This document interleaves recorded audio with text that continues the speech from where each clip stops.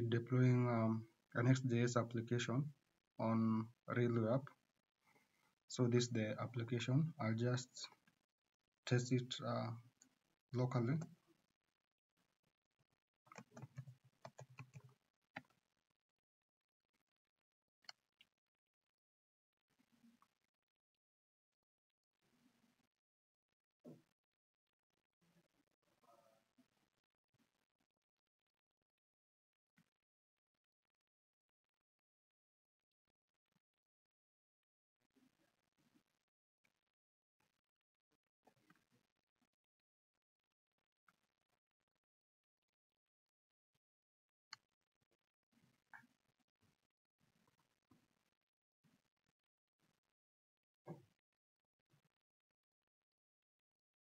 So it's still compiling but uh, once we deploy it uh, it should have pre-compiled the pages because we will optimize the build.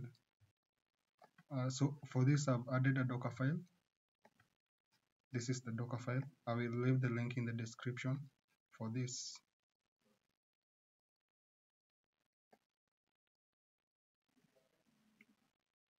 So the command that will be used will be npm start once uh, we've deployed it. Railway should be able to detect this Docker file and deploy it. So yeah, this is the application, uh, the sign-in page, the sign-up page, and whatnot. So uh, first, to deploy this, we'll deploy via GitHub. I'll create a repository and call it Next.js deployment. This can just be public or if you want you can keep it private. And I can uh, create repository. And then uh, I'll just push it I'll just push it to the main branch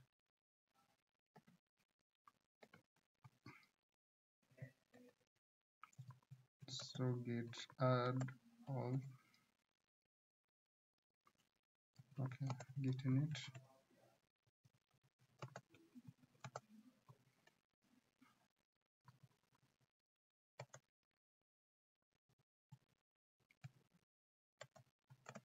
Let me just delete the existing md okay it's fine so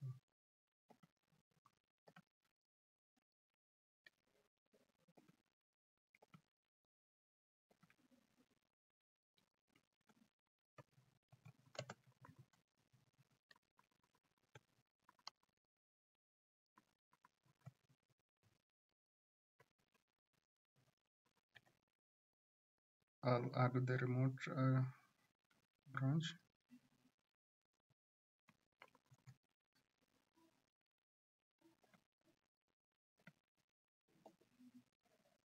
And then I'll push it.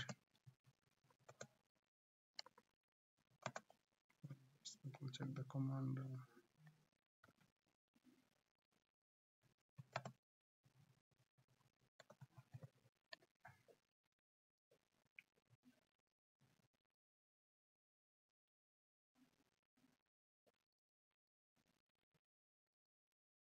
okay let me just sign up on my github.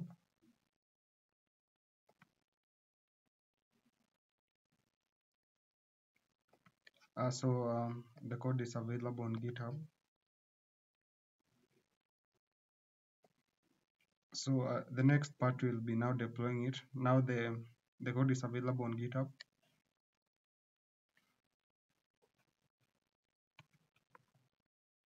so I'll go to the dashboard. I'll create a new project and then I'll say deploy from github repository. I'll configure my github app to access the repository. Uh, it says I must sign in. Let me just sign in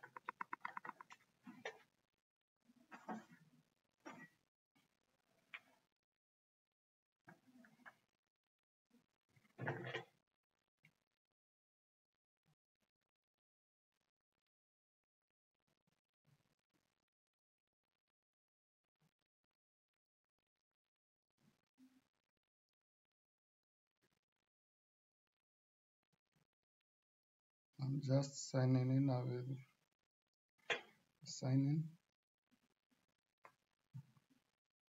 and then I'll select that particular repository.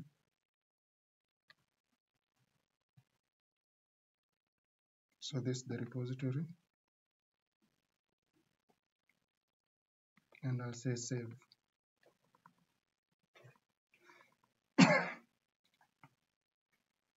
And then I'll say deploy from, I'll search it now.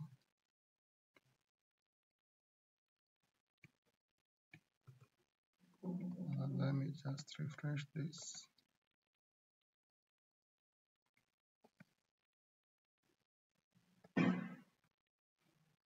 So this is the repository and it's deploying the project on uh, Railway app.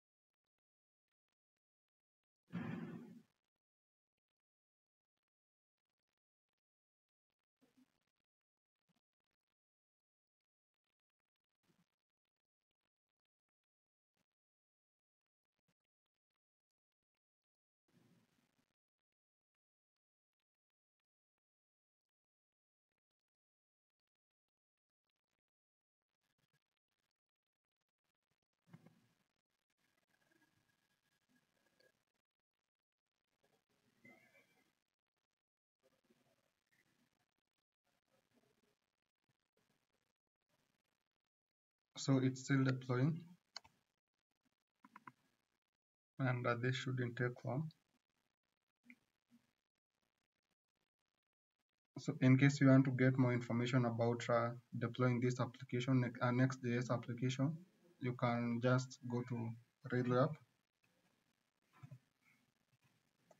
and then docs. And then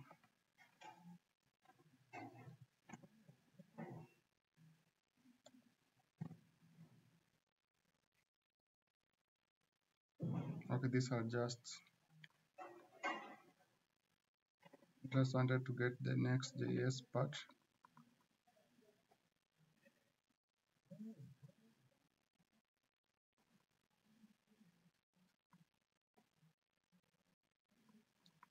It should be somewhere here the Next.js add deployment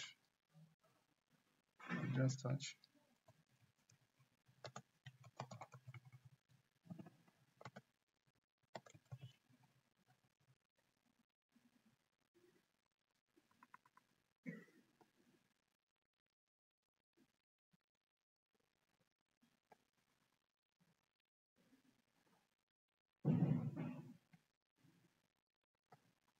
yeah, you should be able to get some templates that you can use in case you don't want to use the docker image.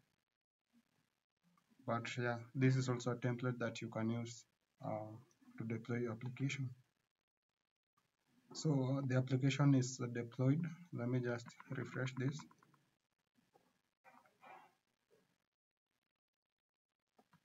Then I'll go to the settings the networking so I need to generate to access this application I need to generate a domain a public domain I'll say generate. So it's generating the domain. And yes uh, we have our application live and deployed. So this is how you deploy the application